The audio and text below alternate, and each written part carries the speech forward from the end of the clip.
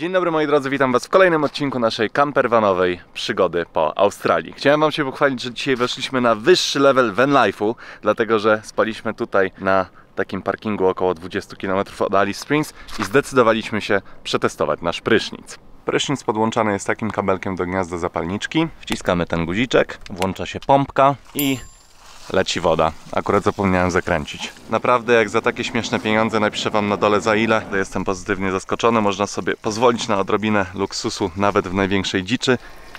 Więc ogólnie super doświadczenie, a byłoby pewnie jeszcze lepsze, gdybyśmy byli w bardziej odosobnionym miejscu, a nie w punkcie wyznaczającym zwrotnik koziorożca, na którym się co chwilę zatrzymywali ludzie, jak się myliśmy. No ale słuchajcie, nie można mieć w życiu wszystkiego. A tutaj, moi drodzy, zwrotnik koziorożca czyli równoleżnik znajdujący się na południowej półkuli Ziemi, wyznaczający najdalej na południe wysunięte miejsce, nad którym Słońce może znajdować się w zenicie. Dzieje się tak w czasie przesilenia grudniowego 21-22 grudnia. Tak jeszcze, żebyście wiedzieli dokładnie jak przebiegała nasza trasa, no to zaczynaliśmy tam w miejscowości Darwin, później pojechaliśmy do Parku Narodowego Kakadu i jechaliśmy cały czas w dół autostradą Stewart Highway, aż dojechaliśmy do Alice Springs. No i teraz w najbliższych dniach, obstawiam, że do tygodnia będziemy się kręcili w tej właśnie okolicy, a później ruszamy z powrotem do miejscowości Three Ways i uciekamy tutaj do stanu Queensland. A tak w ogóle to zobaczcie, jakie pożary mijaliśmy, jak jechaliśmy tutaj wczoraj w nocy.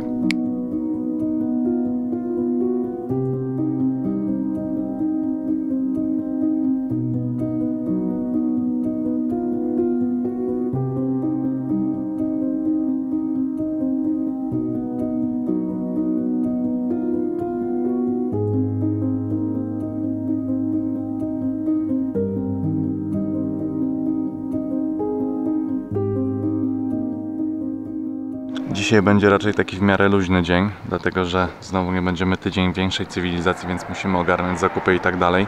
Tutaj się właśnie robi nasze pranie. Byliśmy po drodze w Kmarcie i kupiliśmy taką lampkę, która ma nam niby pomóc w walce z tymi wszystkimi latającymi komarami i innymi muszkami, bo naprawdę każdego wieczoru jest masakra. Nie wiemy którędy, ale one jakoś się przedostają do tego busa i wczoraj musieliśmy przed snem zeksterminować chyba ze 40-50 dziwnych latających robaków. Tak wygląda pralnia. Tutaj Nathan sobie zrobił biuro. Jak oceniasz pralnię?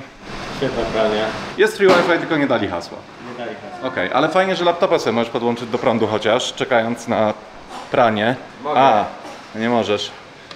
Znaczy, to, jest bezprzewodowe już ładowanie. A, okej.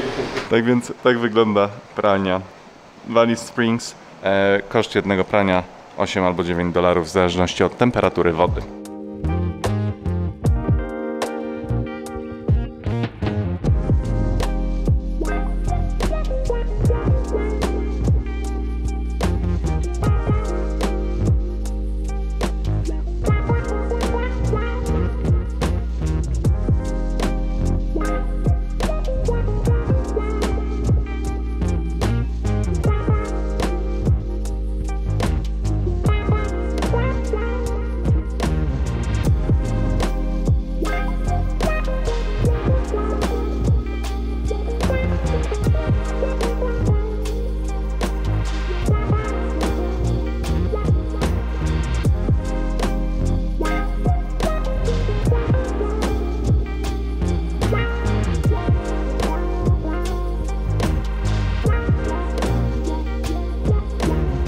Pranie zrobione.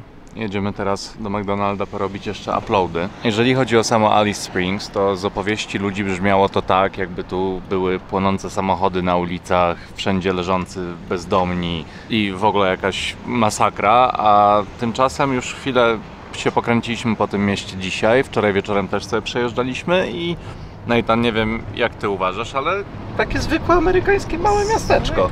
Jakiś Tak. Nowy Meksyk, coś Nowy takiego. Meksyk. No, No, więc y, jeżeli... niczego bym kurki nie widział. No, Mi się wydaje, że Australijczycy mają inny level po prostu postrzegania tego, co jest jak złe czy straszne. Jakby sobie tak połazili trochę po ulicach Nowego Jorku, to by zmienili zdanie, że tu wcale tak źle nie jest. może mielibyśmy inne postrzeganie, jakbyśmy tutaj dłużej mieszkali, ale okej, owszem, widać ludność rdzenną aborygenów, którzy gdzieś tam się kręcą po ulicach, siedzą sobie na chodnikach i tak dalej, ale jak gdyby na pełnym chillu, w sensie jak byliśmy w tym Katrin, to tam byli ludzie pod wpływem jakichś dziwnych dragów i agresywni i tacy bardzo nakręceni, a tutaj po prostu sobie chodzą, żyją, idą do sklepu, idą zrobić pranie. Nie wiem dlaczego nas tak straszyli, ale tak jak mówię, no jesteśmy tutaj tylko przejazdem.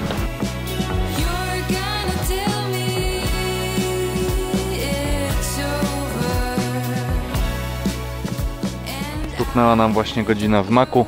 Robota skończona. Jakbyście się zastanawiali, na jakim poziomie spontanu my tutaj podróżujemy, no to właśnie w tym maku decydowaliśmy, w którą stronę w ogóle dzisiaj jedziemy i gdzie śpimy, ale już jest jakiś wstępny plan, więc teraz pozostało nam tylko skoczyć do sklepu, zatankować, uzupełnić wodę i możemy ruszać. Ale zanim ruszymy, popatrzmy się jeszcze przez chwilę na ten ogromny mural.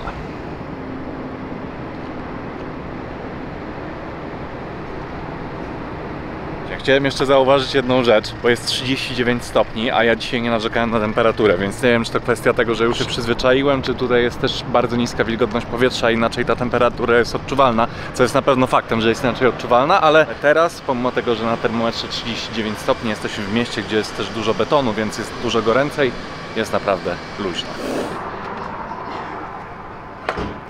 Teraz klasyka, tankowanie, jesteśmy na rezerwie, więc podejrzewam, że trochę nam tej benzyny wejdzie. To ile? 2,21 za litr. Ile? Takie bez duszy te dystrybutory, co? Te wczorajsze były dużo fajniejsze. Uda się 115 równo?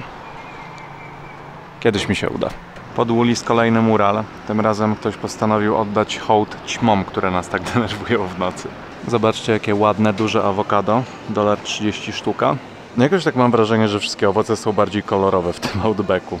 No zobaczcie, jakie śliczne jabłuszka. I coś, czego nie było w innych Woolies, czyli mięso z kangura. Tutaj mamy burgera z kangura, pokrojonego kangura i stek z kangura. I oczywiście co Nathan wpakował do wózka? Będziemy jedli burgery z kangura. Steki też. Mówiłem Ci, że ziomek, od którego wynajmowałem pokój, to mięso z kangura tylko kotu dawał. Myślę, że Polak to niżej od kota. Minute. Who are you? Wpadłem na pomysł zrobienia cold brew w kamperze zamiast gorącej kawy z rana. Za bardzo się na robieniu cold brew nie znam, więc nie wiem jaką kawę wybrać, ale dobra, wezmę tą, co za różnica.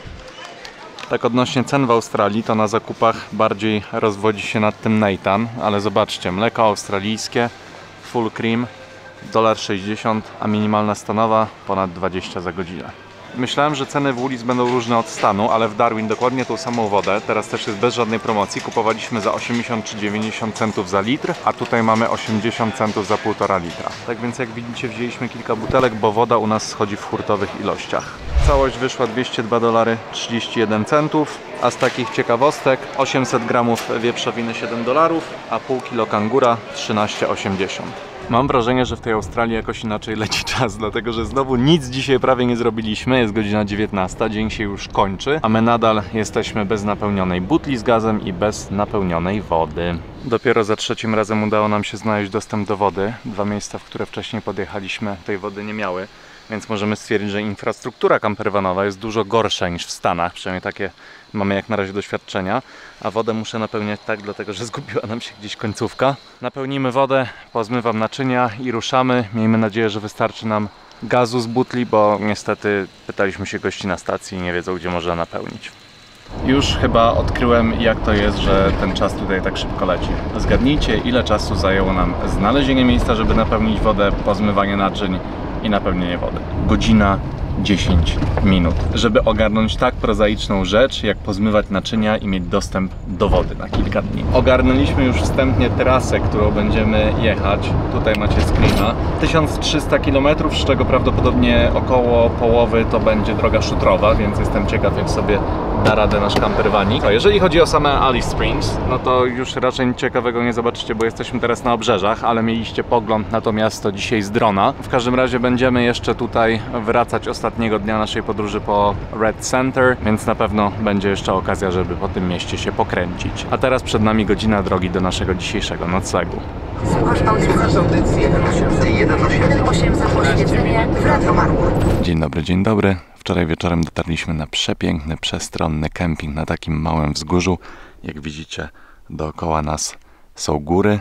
Naprawdę świetne miejsce. Jesteśmy tutaj kompletnie sami.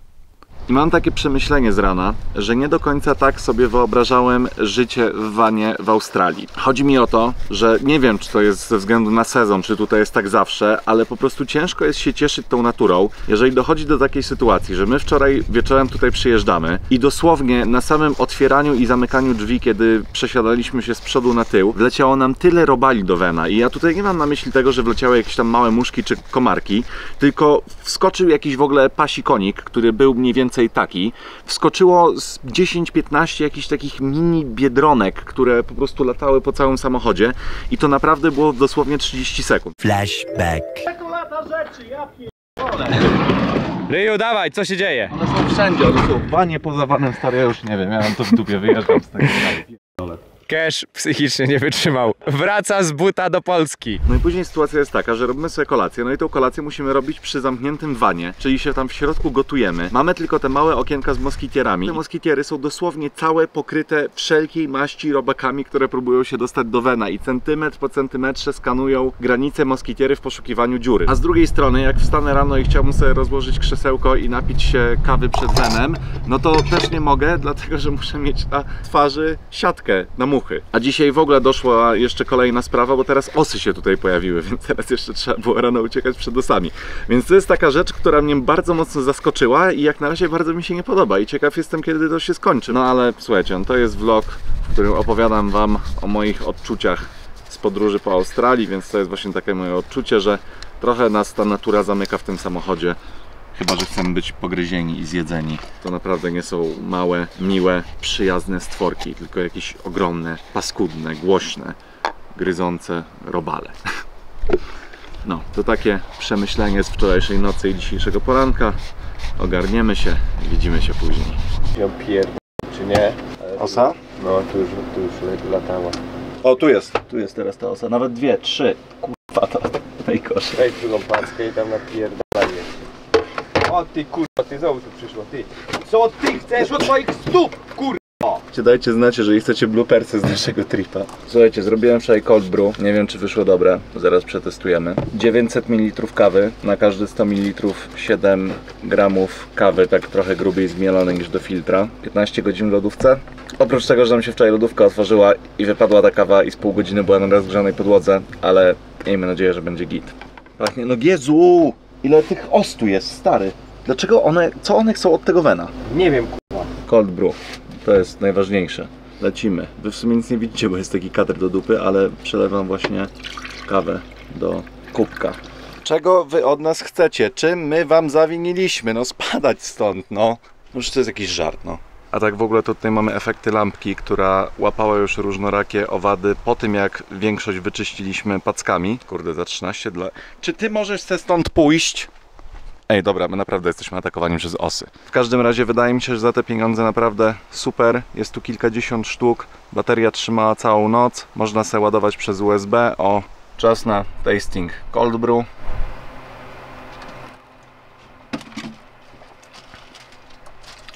No dupy nie urywa, ale może dlatego, że za długo się macerowała, bo 15 godzin.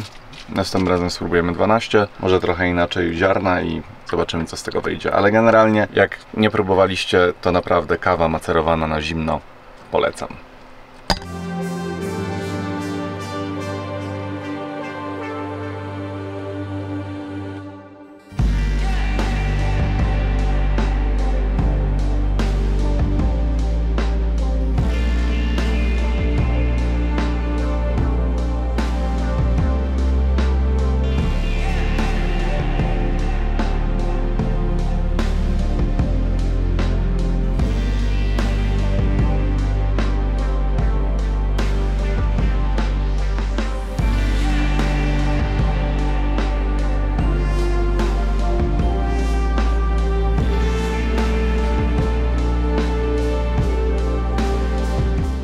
Zatrzymaj się, ja to szybko nagram.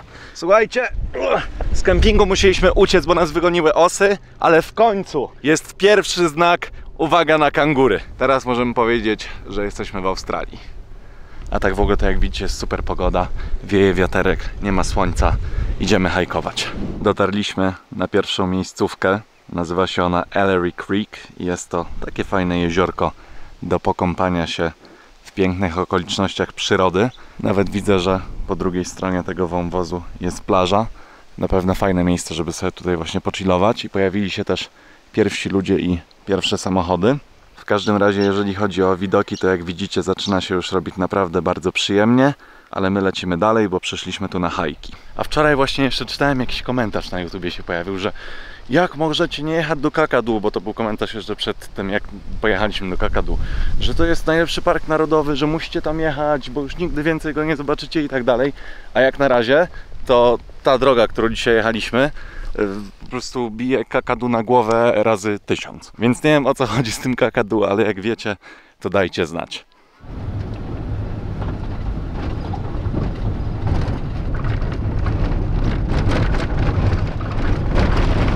No to najwyższy czas rozpocząć pierwszy hike w czerwonym sercu Australii. Jesteśmy tutaj w wąwozie Serpentyny i będziemy tutaj robili taki krótki hike około godziny półtorej, a jest to w ogóle część takiego bardzo długiego szlaku, który zaczyna się w Alice Springs, a kończy się tutaj na górze Sonder.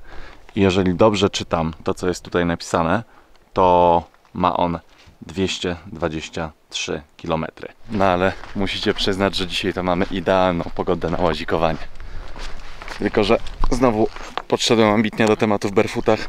Zobaczymy, czy bardzo będę cierpiał.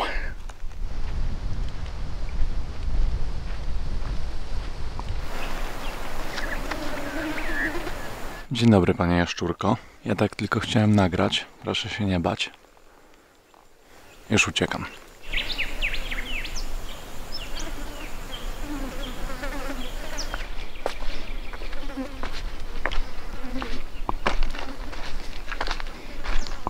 No i wygląda na to, że dotarliśmy na sam koniec. Dosyć podobny widok jak ten poprzedni. Jest naprawdę bardzo ładnie. Te czerwone skały super wyglądają. Z tym, że w tym przypadku było kilka znaków, że pod żadnym pozorem nie wchodzi tutaj do wody. Więc kto wie, może krokodyle. Nawet nie wiecie, jakie to jest super uczucie, tak sobie stać i czuć powiew chłodnego wiatru na twarzy w tym momencie. Brakowało mi tego. A teraz pakujemy się pod górę i idziemy na punkt widokowy. Jest jeszcze dwóch turystów tutaj. Ten lokal jest na takim dosyć stromym zboczu, ale są schodki kamienne. Jak tam mordo? Dobry trening przed śniadaniem. Jeszcze kawałek nam został do góry. Zdecydowanie warto było się tutaj wspinać. Fajnie to wygląda.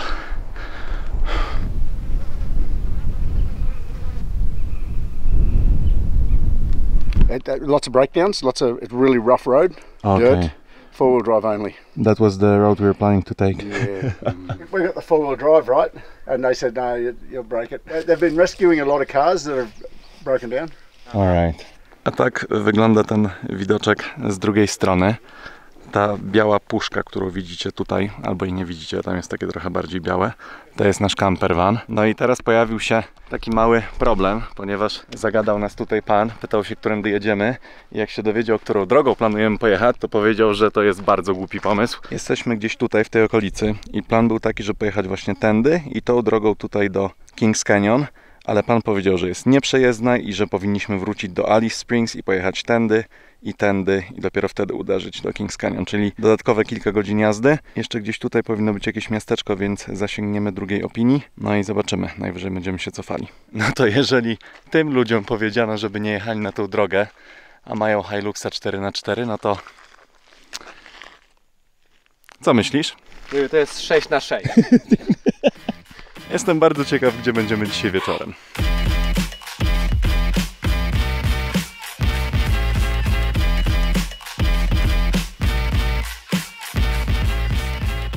Mamy tutaj kolejny punkt widokowy i mam taką wiadomość dla wszystkich, co mówili, że nie warto przyjeżdżać w okolice Alice Springs. No jak na razie to są najładniejsze widoki, jakie widzieliśmy w całej Australii. Jest tu naprawdę przepięknie, a tutaj mamy kolejne skomplikowane urządzenie, które sygnał odbija najpierw tutaj, później tutaj, a później idzie prosto do telefonu i właśnie próbuję szczytać komentarze i informacje spod najnowszego vloga, bo wrzuciłem go 13 godzin temu i jeszcze nie wiem jak w ogóle poszło. No ale niestety wygląda na to, że sobie za bardzo nie poczytam. No cóż, ruszamy dalej.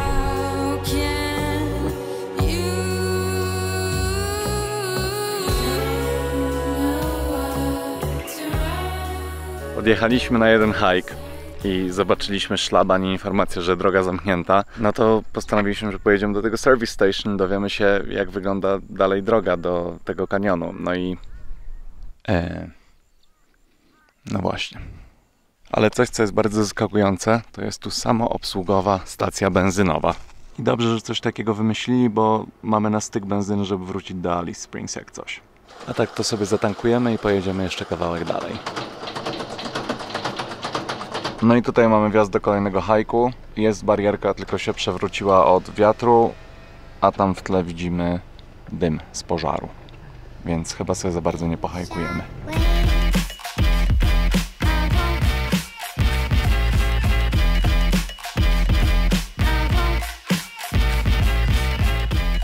Dojechaliśmy właśnie do skrzyżowania śmierci. Ty, ale tu jest droga asfaltowa normalnie. No jest, no. Jeżeli pojedziemy tam do Kings Canyon, to mamy 250 km. Jeżeli pojedziemy tamtędy, to mamy 650 km. Ale jedyna informacja, którą dostaliśmy, jest taka, że jak pojedziemy tamtą drogą, to z dużym prawdopodobieństwem umrzemy. Podjedziemy kawałek, zobaczymy jak wygląda sytuacja. Może uda się kogoś zatrzymać na drodze i się dopytamy. 154 km next service. To lepiej niż myśleliśmy, ale droga wygląda... Hmm. Ryzykować czy nie ryzykować? Ja mam taki pomysł. Cofnijmy się, pojedźmy do Hermansburga. To jest 50 km stąd. No. Tam powinna być może i nawet stacja benzynowa. Tam pogadamy jest. z ludźmi i wtedy podejmiemy decyzję. No pytanie, czy w Hermansburgu na pewno jest stacja benzynowa i czy wszystko jest otwarte, czy zobaczymy płot i do not enter. Nie. Dojechaliśmy do tego całego Hermansburga. Tak to właśnie wygląda. Ale rozpierdol. No, samochody z powybijanymi szybami na poboczu.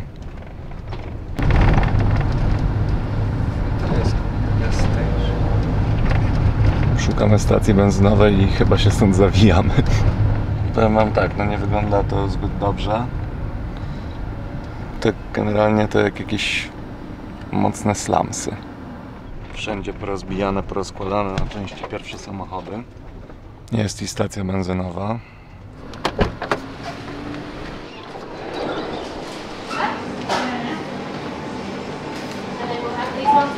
So the only way to go would be this way, right? That is all dirt, as is this. Both sides are dirt. No to taka stacja benzynowa jak widzieliście, można było dostać tam jakieś e, ciepłe jedzonko. To co mnie zdziwiło to to, że była kompletna bariera językowa pomiędzy klientami a sprzedawcami, dlatego że porozumiewali się praktycznie na migi. No ewidentnie jesteśmy po prostu w takiej małej aborygeńskiej społeczności w tym momencie. Mm, No i dowiedzieliśmy się, że w ogóle nie ma opcji, żebyśmy my dojechali tam, gdzie dojechać chcieliśmy. No i jeszcze z takich ciekawostek to dowiedzieliśmy się, że tutaj musimy uważać na dzikie konie, że na kangury nie musimy, dlatego że podczas COVID-u po prostu lokalna społeczność, większość z nich zjadła i niewiele kangurów e, dzikich tutaj pozostało, co w sumie się zgadza, bo konie widzieliśmy, a kangurów w ogóle. Tak więc jak widzicie dostajemy dosyć dużo sprzecznych informacji, dlatego że według tej mapy ta droga jest drogą asfaltową, a gość na stacji twierdzi, że to jest dirt road, więc Będziemy musieli się przekonać na żywo jutro. Pewne jest natomiast to, że wszystkie drogi, którymi możemy albo być może możemy jechać, jadą przez Alice Springs, więc tam właśnie zmierzamy.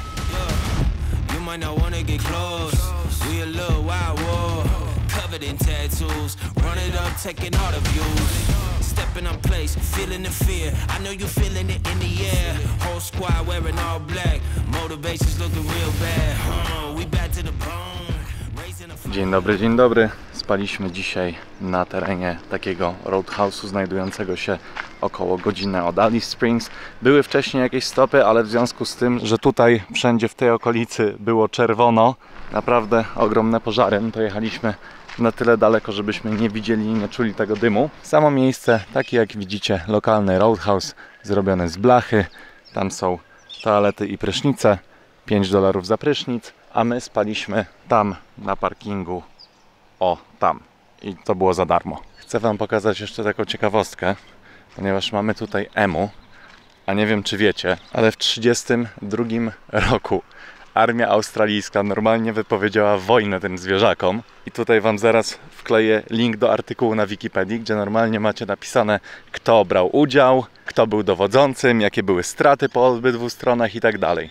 No i generalnie EMU tą wojnę wygrały, dlatego że celem było to, żeby przestały niszczyć plantacje różnorakie. Pomimo tego, że wybili ich naprawdę kolosalne ilości, no to EMU nadal się rozrastały i nadal męczyły farmerów.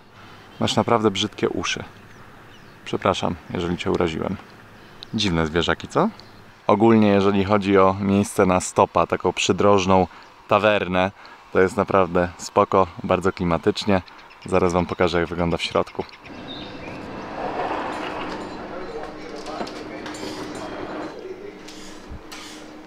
Jest klimacik takiego małomiasteczkowego sklepiku, co? A tutaj właśnie. Don't worry about me, I'm just walking around. A tak wygląda główna sala. Można sobie kupić jakieś pamiątki, usiąść, zjeść. Hello. A tutaj mamy część taką bardziej barową. Jest bilard, jest bar. Podejrzewam, że jeden z niewielu takich przybytków w promieniu najbliższych 50 km. Nie dotykajcie mnie, kiedy śpię, bo robię się zdenerwowany. Wally. W każdym razie Nejden skończy się prysznicować i ruszamy dalej w trasę. I rozmawiałem z właścicielem Roadhouse'u i się pytam, czy możemy przejechać tą drogą, czyli tą drogą, którą nam polecał wczoraj ten gościu, którego spotkaliśmy tu. Powiedziałem mu, że jedziemy zwykłym campervanem, no i typ się tak na mnie spojrzał i powiedział forget about it mate, więc generalnie musimy teraz jechać tutaj, tutaj, później tędy do Kings Canyon, a później tutaj do Uluru. W sensie o tu, 84 km jeszcze tutaj. A przypomnę Wam, że wczoraj byliśmy tu, więc trochę musimy naokoło, no ale cóż, życie. No i tyle. Ruszamy do Kings Canyon. Przed nami 381 km.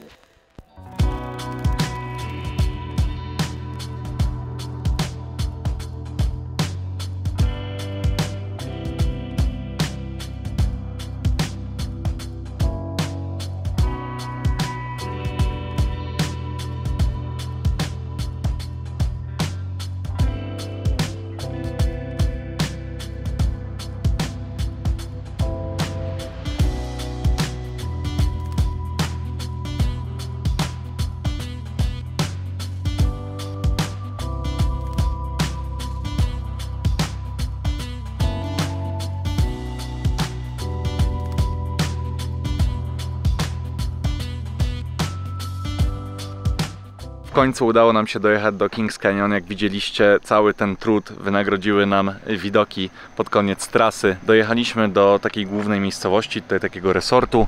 Tutaj jest zamknięta stacja benzynowa. O tam, tutaj jakaś knajpa, do której zaraz skoczymy, zobaczymy co tam ciekawego mają. A ja, moi drodzy, kończę tego vloga. Jak dobrze pójdzie, to jutro zaczniemy w końcu zwiedzanie i hajkowanie po tej części Outbacku, dla której tutaj przyjechaliśmy. Za dużo się w tym vlogu nie działo, ale z drugiej strony właśnie dlatego robię takie częste vlogi, żeby pokazywać codzienne trudy australijskiego vanlife'u. Jednak mam nadzieję, że nacieszyliście swoje oczy przepięknymi widokami, które się tutaj przewijały i uśmiechnęliście się pod nosem, kiedy mieliśmy różne perypetie i przeszkody na naszej drodze, które musieliśmy pokonywać.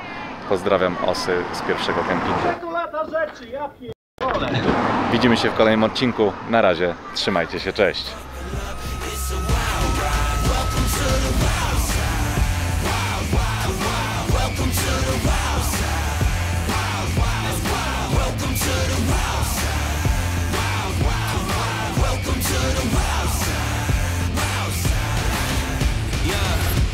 Till five in the morning. Do it again in the morning. Do it like we did in Rodman.